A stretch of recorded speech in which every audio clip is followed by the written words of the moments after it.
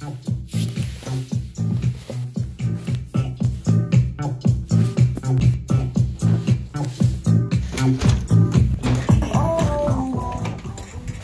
No dzień dobry, poniedziałek to początek tygodnia, wielkie plany. Już oczami wyobraźni widziałem jak jadę na budowę, pokażę wam pięknie położone, docięte płytki w łazience, będziemy remontować i wykańczać mieszkanie. No ale nie, bo co się stało? Jeden wykonawca łamany przez majster jest przeziębiony i nie jest to koronawirus, jest po prostu chory. Drugi wykonawca nie może, bo nie zdążyli mu dociąć płytek. Płytki mają duży format, więc trzeba je ciąć wodą, po prostu firma, która jednie się nie wyrobiła. Więc nie jedziemy do mieszkania, nie będziemy wykańczać, tak jakby wszystkie plany w... nie odwołane. Także tak. Także to co robimy, to już trochę mam pracy biurowej za sobą, także to jest ogarnięte i jadę teraz oddać y, Subaru do mechanika, y, żeby wymienił zbiornik gazu. To wam zaraz pokażę. Fascynujące, po prostu fascynujące, ale 10 lat minęło, zbiornik gazu trzeba wymienić. Ale nim pojedziemy do mechanika, poczta. Dziękuję. Wyznam wam w tajemnicy, że nie jestem fanem stania w kolejkach. Uuu, jedna osoba przede mną może być, więcej, to już stanie w kolejkach, a tego Bartek nie lubi. Dobra, już na miejscu i szykujemy samochód. W zasadzie butle do wymiany. Usuwamy pierdolnik.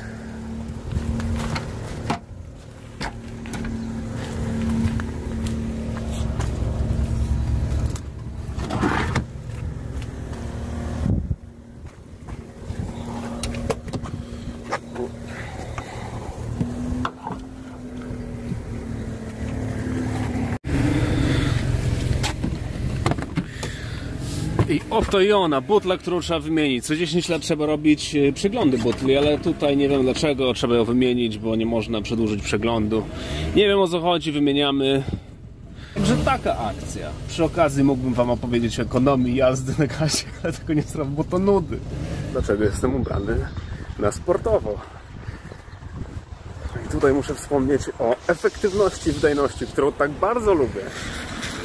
Znalazłem mechanika, który jest jakiś kilometr, półtora od mojego domu. Także blisko, nie tracę czasu na dojazdy, na jazdę, na drugi koniec Lublina. Jak robiłem to wcześniej. Ubieram się na sportowo, łączę przyjemne z pożytecznym. Zawożę samochód do mechanika i biegiem wracam z powrotem do domu. Samochód naprawiony, Bartek jest wysportowany, same korzyści. Bartek w czapce to też nie jest częsty widok.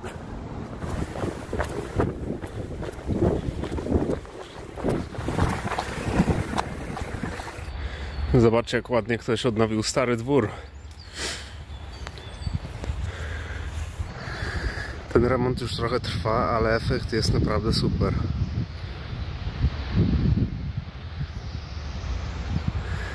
A dookoła jest ogromny park i to wszystko przy głównej ulicy w Lublinie. Także super miejscówka. Jakieś paręnaście lat temu, jak tutaj się wprowadzałem na to osiedle, to tutaj mieszkali bezdomni. No zobaczcie to jeszcze z tej strony.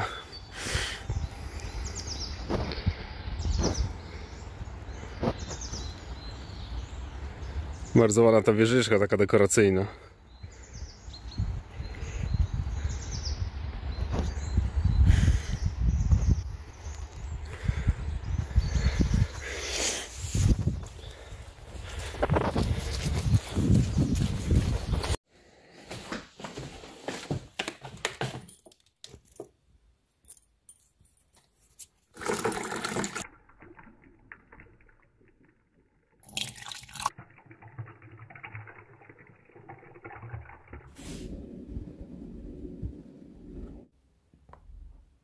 Herbata zaparzona, zielona herbata prosto z Chin. Także można zacząć cykl, który nazwiemy Filozofia życia według Bolka. O, brzmi dostojnie, ale takie ma nie być. Tak trochę bardziej jest. ale się bawię z wami. Ale dobrze się bawię, także o to chodzi. Yy, chcę tak jakby trochę, minimalnie kontynuować temat efektywności, którą poruszyłem przed biegiem, bo yy, to jest coś, co mi naprawdę sprawia przyjemność w życiu. Jeżeli można zrobić coś, cokolwiek, na dwa sposoby. Jeden jest trudny, skomplikowany, czasochłonny, zasobowo-kosztochłonny, a drugi jest łatwiejszy, wygodniejszy, to czemu pchać się tak jakby w coś, co jest trudniejsze? Dla, nie wiem, satysfakcji o herbatę wylałem.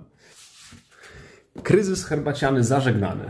To dlaczego pchać się tak jakby w coś, co jest trudniejsze, bardziej skomplikowane? Ja wybieram drogę łatwiejszą, szybszą, wygodniejszą. I niektórzy mówią, Bartek, Bolek, ty idziesz po linii najmniejszego oporu. To złe. Serio, serio tak jest? Nie, no ja oszczędzam sobie czas i życie, przecież o to chodzi. Że ja jestem wyznawcą better done than perfect. Lepiej coś zrobić, niż pieścić i po prostu zrealizować coś, co jest perfekcyjne, co z założenia jest niemożliwe. Perfekcjonizm jest zaprzeczeniem ludzkości. Ludzie nie są doskonali. To, co robią, nigdy nie będzie idealne. Więc ja wolę zrobić coś szybko, mieć załatwione, że jest zrobione, a potem to pieścić, niż zacząć coś i wyjść z założenia, że to musi być piękne, wspaniałe, perfekcyjne i nigdy tego nie skończyć. I słuchajcie, to się tak jakby ma zastosowanie do wszystkich aspektów życia. Niektórzy wolą tą bardziej skomplikowaną drogę, myślą, że to jest jakieś w ogóle bardziej dostojne, że w ogóle to jest bardziej wartościowe, zrobić coś, iść taką trudną drogą. Po co się męczyć? Po co się męczyć? Założenie ma być wygodnie nam ludziom, nie? Życie i tak i tak da wam dużo trudów, więc jeżeli możecie zrobić coś łatwo, zróbcie to łatwo i oszczędźcie energię na coś, co spadnie na was niespodziewanie i wtedy faktycznie trzeba walczyć. A jeśli jest łatwiejsza droga, proste. Także tak, słuchajcie, taka filozofia życia według Bolka, numer jeden, ale wyszedł vlog ciekawy, aż zobaczę, co to będzie, jak to stworzę sobie. Tak patrzę, co nakręciłem i widzę ten ręcznik z tyłu. Jaki ładny ręcznik, nie? I poduszkę. Słuchajcie, tutaj jest plac budowy, jestem w trakcie remontu i się w ogóle nie przejmuję tym. Moje vlogi mają być z założenia naturalne i tak jest, więc tak jakby ten ręcznik niech będzie dowodem na to, że jest po prostu swojsko, siedlisko naturalnie. O, o. A jak już oszczędzicie czas i pieniądze, to możecie sobie pomyśleć o kupnie czegoś takiego. O, tak. Tak. Uff. A teraz zrobimy mały unboxing. Unboxing głośnika Bluetooth, który został mi sprezentowany i będzie zamontowany w sypialni. Powiem Wam, że długo zastanawiałem się, w jaki sposób rozwiązać nagłośnienie w sypialni i to jest najmądrzejsze, co mi przyszło do głowy.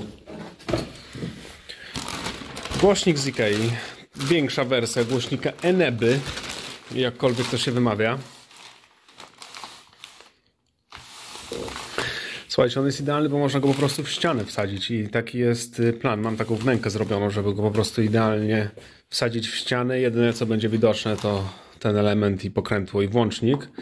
Y, ja chcę, żeby on był cały czas włączony, a raczej włączany przytyczkiem koło, koło łóżka. No i słuchajcie, podobno to fantastycznie gra. Z tego co czytałem wszystkie opinie, no to jest po prostu... O, mam takie nóżki. No, to to jest po prostu super produkt, który powinien mi załatwić nagłośnienie sypialni. Myślałem, żeby w sypialni robić jakichś tam głośników stereo, jakieś 5 plus 1 subwooferów, nie wiadomo czego. Yy, czy małego głośnika Bluetooth, o tutaj mamy. Uważałem też zrobienie specjalnej półki, żeby wstawiać mały głośnik biura. E, ale to wszystko nie było sensu, bo po prostu kształt i wymiary tego są idealne, żeby go wsadzić w ścianę i, i zrobić z niego element po prostu taki zintegrowany. Także coś takiego, zaraz go odpalę, zobaczę jak to gra.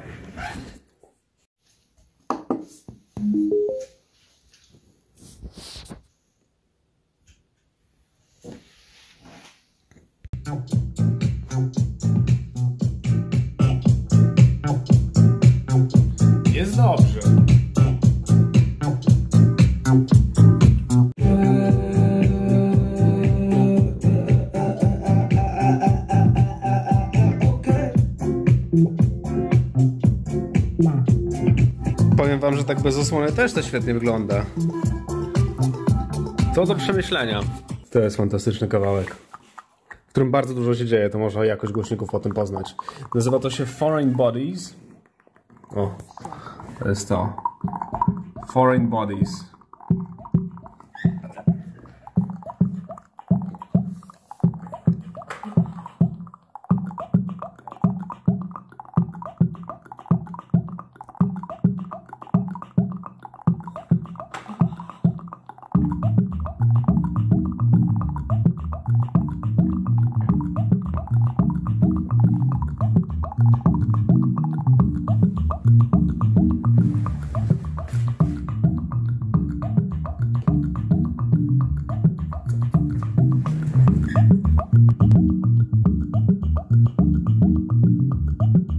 Powiem wam, że jest naprawdę dobrze. Co prawda nie gra tak dobrze jak moje magnaty, które będą w pokoju dziennym zamontowane pod sufitem. Eee, natomiast o, do sypialni super, zwłaszcza, że głównie będę w sypialni słuchał muzyki klasycznej, także rewelacja. Magnaty będą do basu i żeby denerwować sąsiadów. O, także taki jest plan, a potrafią zdenerwować nie jednego sąsiada. Także to mamy chyba załatwione i teraz wracam do szukania e, farby, bo zaraz będzie skończona łazienka i nim zaczniemy układać podłogi, to musimy pomalować wszystkie ściany, żeby potem farba na podłogę nie kapała. E, I to, co to, co rozważam, to tutaj jest tak. Zagruntujemy to pewnie takim gruntem magnata. Natomiast zastanawiam się, czy nie zrobić takiej farby ceramicznej, która jest e, z założenia do kuchni, do łazienki i nie zrobić w całym mieszkaniu. Ja wiem, może być trochę bardziej odporne, trochę, trochę łatwiej się będzie myło. Yy, I jadę do Obi, yy, a nie, jadę do Bricomana, bo tam jest taniej. Yy, podpytać się, jakie farby, co zastosować, także to o tym Wam też pewnie powiem, czego się dowiedziałem. Jeszcze nim pojedziemy, jeszcze jest jeden kawałek, który zawsze puszczam, żeby sprawdzić jakość basu w głośnikach. To jest Nightmares on Wax i kawałek się, utwór nazywa się Listen It Jakkolwiek to się wymawia, nie wiem. Myślę, że mówiłem to prawidłowo. Także to jest. To jest o tyle fajne, że jest taki głęboki, bardzo mięsisty bas. E, posłuchajcie.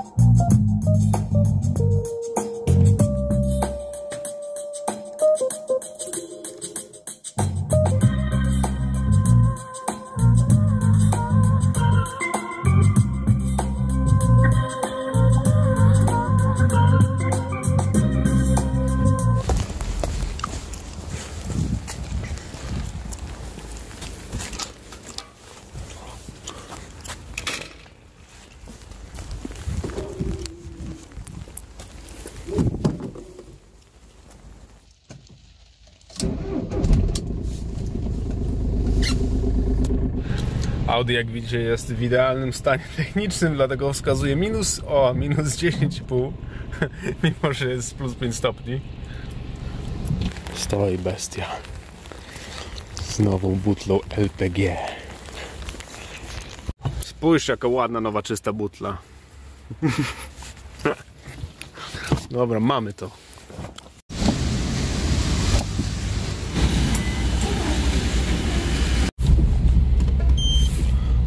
eksperymentujemy, już na gaz za bardzo nie chcę przełączać. Coś nie chce, nowa butla nie chce się przyłączyć, gaz zatankowany do pełna. Toczymy się bardzo powoli osiedlową uliczką z telefonem na statywie, żeby nie było. No i faktycznie, no jest nowy zbiornik, gaz się nie chce przełączyć, jedzie cały czas na benzynie, tam zawór pyka, ale się nie przełącza, także wracam do gazownika. Y, przy okazji sprawdzi mi szczelność zbiornika, także taka korzyść. Y, I tak sobie myślę, nie chciałem Wam mówić o ekonomii jazdy na gazie, może powinienem, to jest oszczędność, słuchajcie. To jest tak jakby dwa razy taniej niż benzyną. No i teraz tak, Subaru jest moim wołem roboczym, y, połączony przez limuzyną, bo on naprawdę fantastycznie jeździ, cicho, na trasie jest bezpieczny, jeszcze sobie światło dodatkowe zamontowałem, także super uniwersalny samochód. No i jeżdżąc na gazie, słuchajcie, o coś tutaj mi klika. Także jeżdżąc na gazie oszczędzamy połowę tego, co byśmy wydali na benzynie. Naprawdę, jest mnóstwo oszczędności, jak sobie przemnożycie razy tam 1000, 10 tysięcy, 20, 30 tysięcy, 50, tak nie wiem, może 100 tysięcy nim już zrobiłem. E, także jeśli nie ma za dużych oczekiwań, jeśli chodzi o jakość, nie wiem, osiągi, o jakość jazdy, o osiągi i tak dalej, i tak to oszczędność tego jest sama oszczędność. Tam czasami trzeba owszem serwisować gaz i tak dalej. Koniec końców się zwraca, dużo oszczędności do wyliczenia. Nie będę tego robił, bo to nudne. Słowem, jest dobrze, jest oszczędnie. O, o, i efektywnie, i wydajnie, tak jak Wam mówiłem wcześniej. Już wszystko działa. Okazuje się, że zawór był zamknięty. Także drobnictwo. Gaz jest włączony. Zobaczcie, świeci się na zielono. O! Zielona lampka oznacza dużą oszczędność. Ku radości Bartka, jak widzicie po mojej twarzy. Gaz działa, ale coś z tyłu zaczęło ocierać. Nie wiem, czy opona, czy co. Ciężko mi ten, yy, tak jakby hałas zidentyfikować. Yy, także to są uroki posiadania starszego samochodu. Teraz pewnie słyszycie, nie?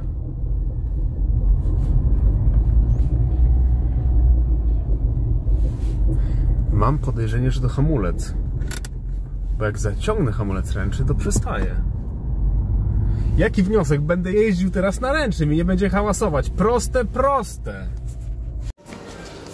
No dobra, jednak jesteśmy w Obi. W zasadzie mam dwie farby do wyboru. Przede wszystkim markę Magnat ceramiczną. I farba, której szukam, to jest jedna, to jest do kuchni, do łazienek. To potrzebuję w kolorze białym i szarym. No i farba do zwykłych wnętrz, czyli to będzie też ceramiczna, też magnat, też szara i też biała. To jest próbnik, taki biały. I szara, szara, szara, może o taka. Jakiś ciemny, szary, księżycowy hematy. Zaraz musimy jakieś próbki znaleźć. Powoli łapię o co chodzi w tych farbach. Tutaj mamy próbki farb do łazienki kuchni. Zobacz jakie ładne nazwy. Burzliwy hematy. To jest to, czego szukam. Do łazienki, ale też do sypialni. To jest opalający brązyt. Tego nie szukam, ale nazwa po prostu urzeka. No i czysta biel do... Czysta biel też do... Nie, czysta biel do kuchni, o, do kuchni. I do przedpokoju. Są dwa kolory, które mnie interesują w zasadzie. Dobra, farby rozpoznane, próbki kupione. Mechanik umówiony z Subaru, bo coś z hamulcami z tyłu jest nie taka. Jadę do Poznania w następnym tygodniu, także musi być sprawny technicznie. Tak jak zawsze jest zresztą. A ja teraz pakuję się i udaję się na spoczynek, czyli edycję filmu, czytanie itp. itd. Słowem chill. A pakuje się w co? Pakuje się w mój ulubiony plecak, zobaczcie. To jest mój ulubiony plecak, już kawał historii ma za sobą. W zasadzie można było niedługo opowiadać, to jest temat na cały odcinek. Zresztą miałem wam zrobić odcinek o brloczku w przekluczykach Audi. Inspiracja. No nic, do zobaczenia. Nie no, nie mogę się z wami rozstać. Patrzcie, co tu jeszcze jest ciekawego w tym plecaku. Latarka. Zobaczcie, to jest latarka, to jest Petra latarka, którą można przez telefon oprogramować. Super sprawa. I mój nieśmiertelny scyzoryk Victorinoxa z drewnianą tutaj rękojeścią. Kurczę, drobne rzeczy, a powiem wam, że bardzo, yy, tak jak zżyłem się z nimi, w sensie, no to są jakieś tam podstawy, jak dużo jeździsz między drugim miejscem a trzecim, tak jak ja, to się przydają, także wożę to i noszę zawsze ze sobą. No i może o tym kiedyś faktycznie nakręcę taki odcinek, w sensie wyposażenie Bolka. Jest jakaś inspiracja. Także chyba tyle i do następnego. Jeszcze.